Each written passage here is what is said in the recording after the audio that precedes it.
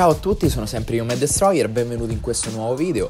Riappaio, una delle mie consuete e solite riapparizioni, dopo mesi e mesi, però questa volta è diverso. Molte volte ho spiegato perché scompaio e poi ricompaio, non mi dilungo, ma vi dico che questa volta è stato diverso. Questa volta è stato diverso perché il primo mese non ho potuto fisicamente fare video su YouTube, ho preso altre abitudini. Che è successo? Praticamente non per spaventarvi, ma ho subito un grave infortunio un infortunio che mi è tenuto e mi sta tenendo anche adesso lontano dai campetti. Io non gioco a calcio con un club, con una società, ma gioco a calcio e diciamo ci organizziamo con un gruppo, con un gruppo nostro. Che è successo che io ho subito un grave infortunio, ho avuto una distorsione molto grave della caviglia destra. È successo giocando la partita di calcetto e tutto ciò non solo mi ha causato un danno fisico che adesso fortunatamente sto recuperando e sto tornando esattamente come prima, ma mi ha cambiato molto anche le abitudini perché non solo non ho fatto più video su YouTube ma per un bel periodo di tempo non ne ho nemmeno visti. Non ho voluto fare due video diversi mi sembrava più comodo farne uno uno intero che spiegava il perché di questa assenza e un nuovo video per tornare. Parliamo di Can un giocatore che come sapete bene chi mi ha seguito mi sta molto a cuore.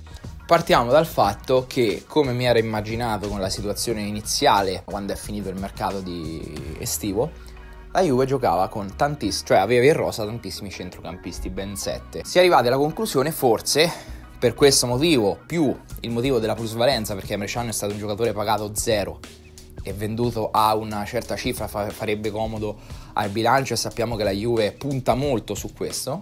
Però, però, parlando di campo, molti dicono, eh ma Emre Can, probabilmente, ovviamente ognuno ha la sua opinione, probabilmente Emre Can è un giocatore che non rientra nei piani di Sarri. È un giocatore che tatticamente è, ecco, è scomodo per Sarri. Ma siamo sicuri di questo? Io sono il primo a dire di no. Anche Sarri ha bisogno, per esempio, di Matuidi. Matuidi è un giocatore che ovviamente è banale dirlo, ma quando non ha la palla, quando insomma siamo in fase difensiva, preziosissimo. Questo è innegabile. Poi quando, che quando gli passi il pallone non sta in piedi e il vento lo butta giù. Questo purtroppo è vero, non ti aspetti mai la giocata e qualità. Ma difensivamente abbiamo visto che alla Juve, voi se, me, se vi mettete ad osservare solo Matuidi, i movimenti di Matuidi, che magari non può essere interessante per alcuni, ma per altri lo sarà, vedrete che fa dei movimenti preziosissimi e importantissimi. Ma parliamo di movimenti che impediscono di aprire corridoi, di aprire buchi, che in difesa ti penalizzano tantissimo, quindi è molto prezioso per l'equilibrio difensivo. Ma oltre che Matuidi, insomma, parliamo di questo giocatore che serve a Sarri difensivamente. Emre Can ovviamente è un giocatore abbastanza diverso da Matuidi, ok? La qualità difensiva, insomma, il fatto di eh, la dinamicità, la resistenza, questo li accomuna. Ma Emre Can, volevo dire, è un giocatore che ti dà tanto anche in attacco. Io mi ricordo due partite l'anno scorso contro l'Atletico Madrid e l'Ajax. L'Ajax fuori casa, quando siamo stati eliminati, lui, Scesni e Cristiano Ronaldo, questo se andate indietro sul video de- dell'Ajax lo dico, eh, non è che lo dico adesso, l'ho già detto.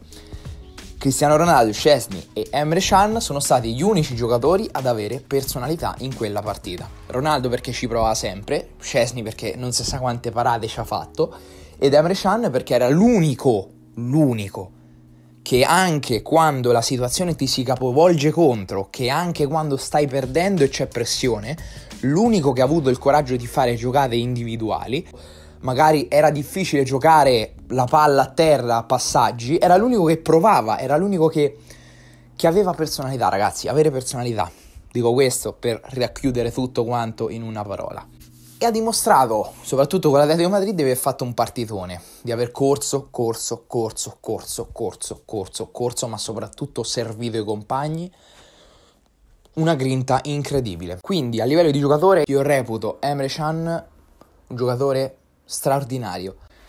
Io ho sentito voci sul Liverpool, sul Milan, sul Dortmund, ma secondo me se il Liverpool se lo riprendesse sarebbe veramente una roba assurda perché in quel centrocampo ce lo vedo perfettamente. Hanno tanti centrocampisti anche loro, quindi non so dove lo mettano, se riesca a giocare tante partite.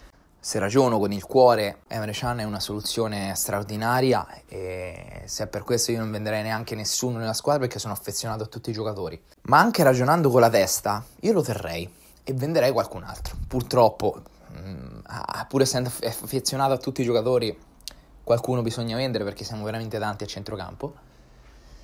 Ma la società, ragionando con la testa, non la penserebbe come me. Ragionando con la testa, vede un centrocampo di sette giocatori, che sono tanti, di cui ognuno prende uno stipendio comunque significativo, e vede la possibilità di un ragazzo preso a zero di fare plusvalenza di 40 milioni. E questo è un aspetto che diciamo condiziona abbastanza. Cosa ne pensate voi? Cioè, nel senso, secondo voi Emre è un giocatore che non vale niente, oppure un giocatore forte, ma ce ne stanno altri meglio? Anche per il fatto che se noi andiamo a vedere il nostro centrocampo, giocatori come Matuidi e Kedira, quest'anno te lo possono fare benissimo. Oddio, cioè nel senso te lo possono fare. Eh, bisogna vedere i prossimi anni, anche prospettiva futuro Emre Can può rappresentare un giocatore stabile su cui puoi puntare adesso, adesso e per i prossimi 6, 5 anni, quindi rappresenta una valida opzione anche per il futuro. Ho detto tutto e ci vediamo sempre qui sul mio canale.